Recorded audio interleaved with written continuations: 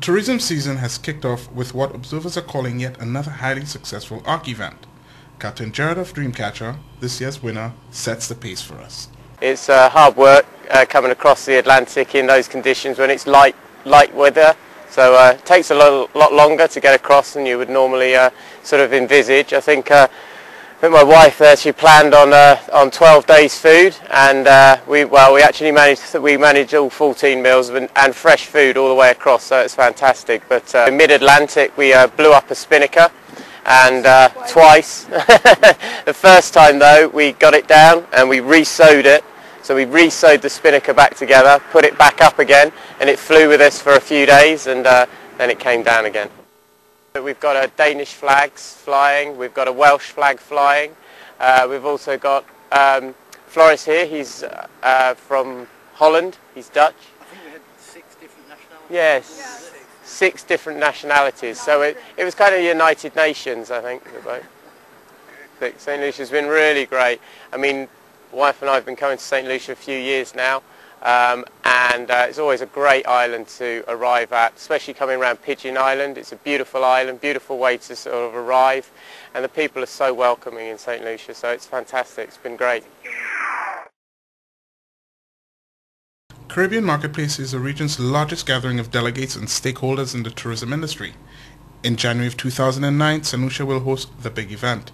To find out more, we met with Mr. Louis Lewis of the St. Lucia Tourist Board. Marketplace is a major logistics challenge for us. It's the first time it's been held um, in the Eastern Caribbean. It's been held over the period January 18th to the 21st. And um, the main center would be the temporary facility that's been put up at Pigeon Island. You have over 1,500 delegates um, who will take part. And, and it's, you know, it's, it's coming along. Right now we are in the process of building the, or constructing the temporary facility, which is 77,000 square feet.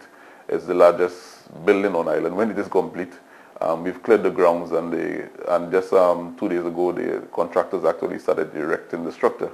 Uh, it was a deliberate policy on the part of the board to integrate the food and rum with the CHA marketplace. What it does is that it gives the visitors an added event. Um, we, are, we, we can now showcase our local cuisine. We can have our um, top chefs on display, the local rums also on display. And it's an event that attracts a lot of visitation.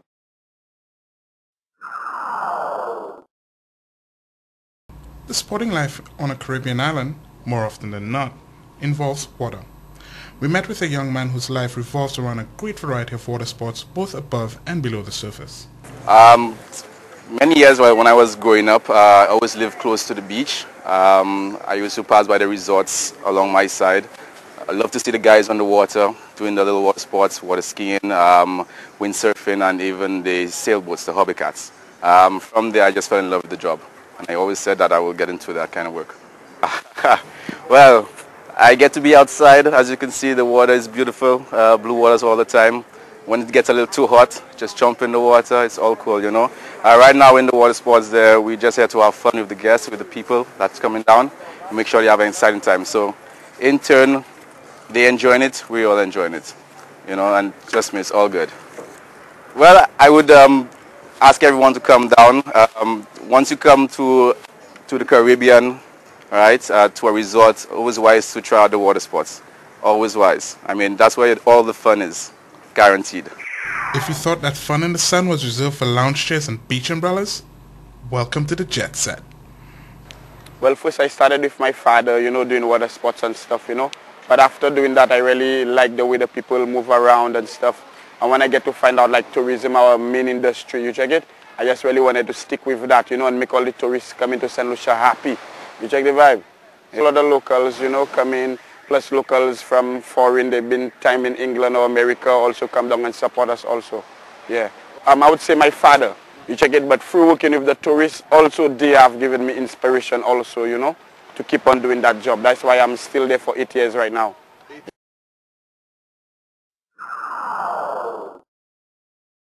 The diversity of the tourism industry is evident in its wide variety of occupations and vocations. We discovered a specialist in the field that's growing in popularity. I'm a qualified bartender, yeah.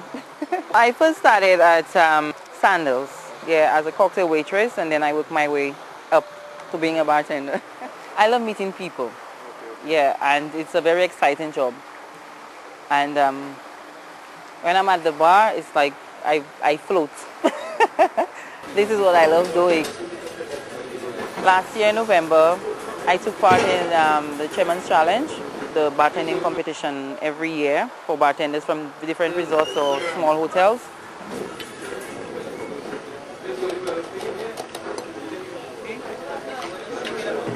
Yeah, I won the, the competition and then I was nominated Mixologist of the Year.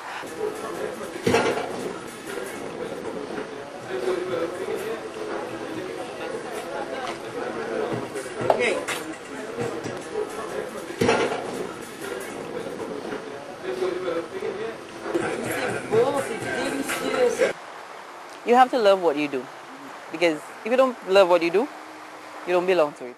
Shane Ross is a local musician who seems to have the formula for creating hit songs.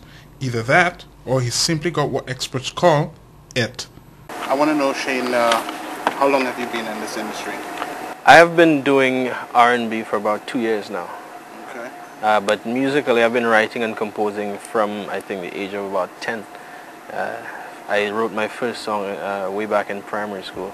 Naked was the, the first R&B single that I released. Um, that song, I think I released that about two years ago. And um, when Lebo, Francis Dilemma, the, the producer behind that track, when he heard it, he was like, man, you can actually sing. And I was like, um, I just tried something. So, And he was like, well, let's try it with one R&B verse in there. And one R&B verse became two. And before you knew it, the song was almost a straight R&B song. For me, I think first and foremost, it's about self-expression. Uh, because I do graphic design, photography, sketching, a little bit of painting, and basically a whole collage of things to express myself. And music is just one of those. And my first major project uh, was uh, a music video for a song that I released in 2007 uh, called Take You Home. And that song actually did very well regionally um, it also aired on the international uh, jazz channel BET J do you think your, your music will, will promote St. Lucia as a, as a sort of a destination to come to?